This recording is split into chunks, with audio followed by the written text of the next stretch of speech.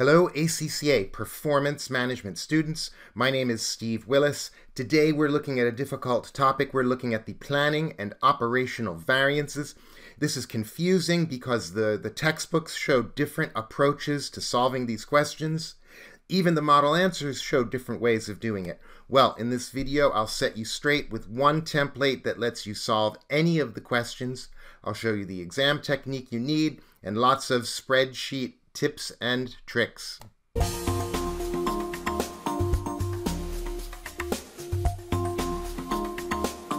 In today's video, we are looking at past exam question BEDCO from the December 2013 PM exams. You can find this question at the link below. Now, to get the most out of, of the video, I suggest you pause the video here, download that question, open up the practice platform, try it on your own. When you're done, come back and keep watching. Welcome back. For our demo, I'm going to take you through pillowcases. After you can do pillowcases with me, then you try it on your own and you can tackle the bed sheets part. Now, in order to do the operational and the planning variances, you need to have a firm grasp of the basics. So before we go on, let's review the basics together. Now, there wouldn't be any marks for this, but we need to do it. So if you look at this piece of the question here, we have information about the costs for a pillowcase. From this, we can build up the standard cost card. In other words, how much does it cost? How much should it cost? Excuse me, how much should it cost to make one pillowcase? This is essentially the budget for one unit. And if you look on the screen, you can see it takes 0.5 meters of cotton to make the pillowcase, and the standard price per meter square is 5. So the standard cost for one pillowcase will be 250.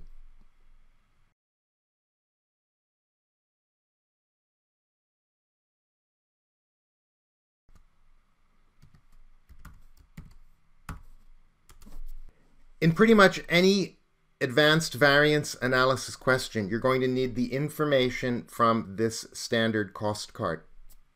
Now, we're doing the direct materials variances. Let me show you my system for, for handling this. I'm going to use three letters, three sets of letters. AA, AS, SS. Guys, and I'm going to write those out. AA, AS, SS. It's alphabetical order. You can remember it, and we can use this for pretty for, for, for all of the cost variance problems. Now that you know those letters, let's go back here. And AA, we're going to change that out to actual quantity, actual price. It's always going to be the amount of stuff we used and then the price that we paid the actual price that we paid for that stuff. So in this case, it was meters of cotton, square meters of cotton. That answers the question, how much did we actually spend? So AA is always the actual spend. Okay, then we can go actual quantity, standard price. That answers the question, how much should we pay in the store when we buy what we used? Last but not least, we come back here and we change this out to standard quantity, standard price. Well, we made 180,000 pillowcases. How much material should we use when we make 180? That's the SQ. And the SP, that's how much should we pay per square meter. Guys, this is a fancy name for the flexed budget. How much should it cost when we produce 180,000 pillowcases. And we're always going like this, moving from flexed to actual. How much should it cost? How much did it cost? Now guys, I've got the actual results on the screen combined with the standard cost card. We can now get figures for my variables there. Guys, actual quantity, actual price, well that's going to be the 95,000 multiplied by the 5.8, $5.80. Okay. Actual quantity is going to be the 95 multiplied by 5.0. That's how much we should pay. That's from the standard cost card. Okay. And the standard quantity will be 180 pillowcases multiplied by 0.5 meters multiplied by $5 a square meter. Guys, those are the figures that we need. I can now just copy paste that line. Well, I'll just put the equal sign in front of it now that you saw how we did it. So there's that. There's that. Last but not least, SS. Okay, so there you have it. AA, AS, SS. And the difference between the two variables on the right, the actual quantity, AS and SS, it's the quantity of stuff used. That's about usage, everybody. So the usage variance will be on the right, and the price variance, the direct materials price variance, will be on the left. You can also remember that the production manager is always standing here. That's what, how I remember it. So then even when you're doing the labor variance, you can remember that efficiency is there. Guys, we're going from flexed to actual. We're always going from right to left in this direction. Asking should cost, answering did cost, is it higher or lower? So when we produce 180,000 pillowcases, we should use 450 worth of material. We did use 475,000. Okay, so we used more. That will be equal, okay, to this one minus SS minus AS. And that's adverse. We used more material than expected. And we always have to tell the markers what the variance is. We can't just let them assume negative is adverse. So make a note here. Okay, and now look at this. Adverse again, and I can just copy that formula to the price. And look at that. That answers the question. When we went to the store and we bought the actual material, we should have paid 475. We did pay 551. We spent more in the store that's the material price variance. It's also adverse.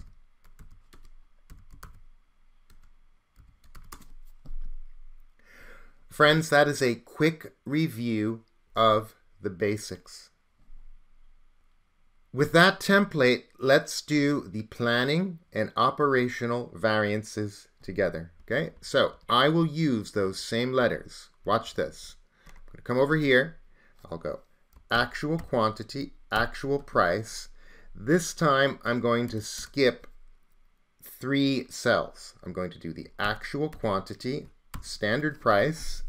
I'm going to pass by three cells and I will do the standard quantity, standard price. Everything to this point is the same. This is still the actual spend. Over here, SS is still the flexed budget. How much should it cost? Now, we're breaking variances down into other variances. So if we're going to do that, we need a new figure in between the original variables. So look at this. I'm going to remember, come down here. Price variance will still be here. Usage variance is still there. Okay, we're still going from the right to the left. We're still going from the flexed to the actual. And we're going to add a new variable to cell K4. Let's make that another color just for uh, this demonstration. And O4. Okay. And if you can remember those letters, AA. The new things, operational and planning, those also come in alphabetical order. So we can do operational here, planning here. Copy, paste that over there to the usage. Okay, now, what do we need? We need another variable in the yellow boxes. And look at this. On the left is price. Okay, so we're going to just simply do actual quantity standard price. We're just going to do the revised standard price because look, it's right under price. That will be actual quantity revised standard price. Okay, now if we come over here, we've got the flex budget. We're always moving from the right to the left. And oh, look, we're under the usage. That's about the amount. So now we will do the revised standard quantity and the standard price. Guys, I'll build this up from scratch. Imagine we're now starting the question. I wouldn't do that review bit. You wouldn't get marks for that. I, I could write it out like this. Um, and that will be equal. AA will be equal to 95,000 square meters multiplied by 5.8. Okay. Actual quantity standard price, that will be the 95,000 meters multiplied by the 5. Okay, standard quantity standard price, that will be equal to the 180 pillowcases times 0.5. That's SQ. That answers the question, how much material should we use when we produce 180? Of course, I'm rounding everything off at this point. You guys know that. Multiplied by 0. Point, multiplied by $5 standard price. Okay. Now, check this out. In the story, they tell us that the usage is actually 10% more than planned because the client, they said, we want bigger pillowcases. Well, should we judge the production manager against the outdated standard or should we judge him against an updated standard? Right? He's making bigger pillowcases, so let's judge him against what bigger pillowcases should cost. And they said that the size was 10% bigger. So I'm just going to come over here, going to multiply the 450 times 1.1. Okay, there we have it. And over here, look at this. They tell us that the commodity price of cotton went up 20%. Well, the production manager can't control the world price of cotton. So we shouldn't judge him against the outdated standard.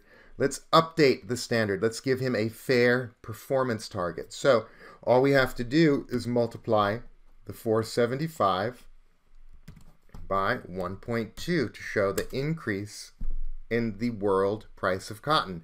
Now, let's just go back for a second. If we wanted to do it from, from scratch, I could also just come back here. Let's go back to revised standard quantity, standard price. That's equal to 180 pillowcases multiplied by 0.5 times 1.1, right? I'm updating the size of the pillowcases multiplied by 5. And it's going to be the same thing. Coming here to actual quantity revised standard price, that's going to be equal to the 95,000 square meters multiplied by $5 multiplied by 1.2, the 20% increase, 570. Okay, and we're always going from right to left. So I'm going to subtract um, the left one from the right one. And look at that, that's a negative 45. Adverse, the planning variance is adverse. So we didn't foresee that the clients would want bigger pillowcases, so that's a planning error. Our forecast was wrong. I copy that formula over here because of relative cell addresses. Ooh, 20 favorable. That shows us that the production manager actually found an economy in production. He should have used 495 worth of material and he only used 475. So he actually did a good job when we compare his work against what what he should have done, right? The revised standard cost. Now, come over here. Same thing with the planning. Just, we could just copy these formulas. The spreadsheet is just awesome. Well, the planning department got their forecast wrong with the price of cotton. So they didn't get it right. And they were off by 95. It was 95,000 more expensive. That's out of control of the operational manager. Now, come back over here. The plant the, the manager should have spent 570. He actually spent 551. Ooh, that's good news. Maybe that manager negotiated well or found a new supplier. Whatever the reason, they should have spent 570. They did spend 551. That is a favorable variance. Okay, let's not forget to come in here and mention, let me bring those down, let me bring these down one line. I'm going to control X, control V. We're going to call that favorable. Copy. Paste. Planning variance adverse. Copy. Paste. Friends, there you have it. Planning and operational variances done quickly and easily in the spreadsheet tool. I'd like to share a little bit more info. Now, in 2014, the examining team changed. And in 2014, they came up with an easier way to do these variances. And that is the way the model answers have been presented since 2014, the way I just showed you. The questions done before that were calculated in a slightly more difficult way. That is why the model solution to this question, if you're looking at it, might not be matching if, if your source did not update the model answer, okay? If you read the examiner's reports and other information from the PM examining team, they tell you that both approaches are accepted. So just do it the easy way, the way I just showed you. Guys, I hope you found this video helpful. If you did, please throw down a like. Please subscribe. This is Steve Willis signing out for now. Good luck on your upcoming performance management exam.